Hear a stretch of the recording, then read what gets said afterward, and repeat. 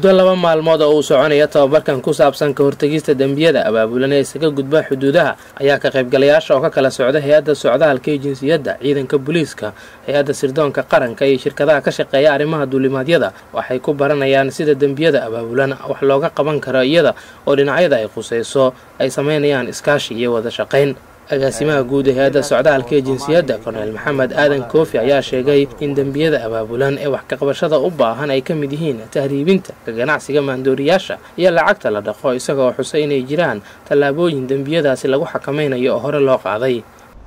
Dembiyadaas oo soomaaliya ay ka mid tahay waddamada ay aadka dhibaatada ugu hayso dalal badan oo caalamka ahna iyaguna ay aada maaragtay uga muujiyaan concern uga muujiyaan waxyaabaha ka gudba ama soo gala soomaaliya xuduudaheeda.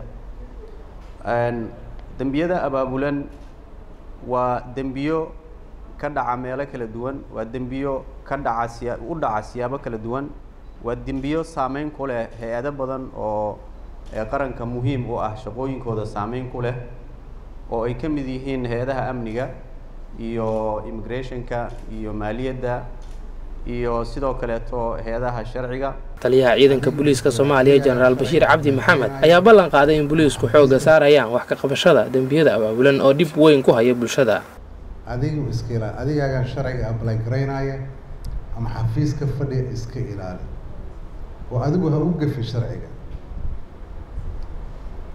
Yaanay adiga dib kuu soo noqonin ama power abuse ha noqoto abuse garin powerka lagu dhiibay ama masuqmaasuq ha noqoto ama nidaam darre ha noqoto adigu laftigaagu iska ilaali. Taasi waxay keenaysa hadda maanta ciidan boliis oo yarin baa xabsiyada ku jira oo dembiye kala duwan loo qabsado. In la helo sharciyo lagu xakamaynayo falalka dembiyada abaabulan ah ayuu sheegay xeerlaaliyaha guud ee qaranka. Inay tahay waddada keliya ee wax looga qaban karo falalkan dembiyada abaabulan ah isagoona ugu baaqay xukuumadda iyo baarlamaanka inay dadejiyaan meelmarinta sharciyadaasi.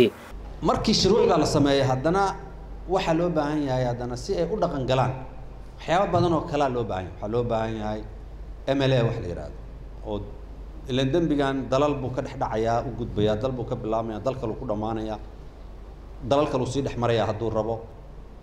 Dalalkaasoo dhan waa inuu ka dhexeeyaa mutual legal assistance waxa la yidhahdo ama iscaawinta xagga dembiyada iyo shuruucda la yidhahdo iska caawiya wasiirka amniga gudaha xukuumadda soomaaliya maxamed abuukar ducaale oo furay tababarka ayaa ka qaybgalayaasha kula dardaarmay inay ku dadaalaan dhaqangelinta waxyaabaha ay bartaan islamarkaana la xoojiyo wada shaqaynta hay'adaha arrintan ku shaqada leh.